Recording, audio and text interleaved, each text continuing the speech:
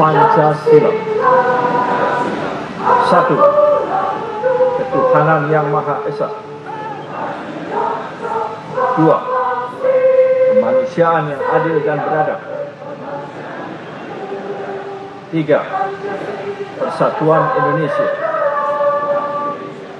Empat, kerakyatan yang dipimpin oleh hikmat kebijaksanaan dalam permusyawaratan perwakilan.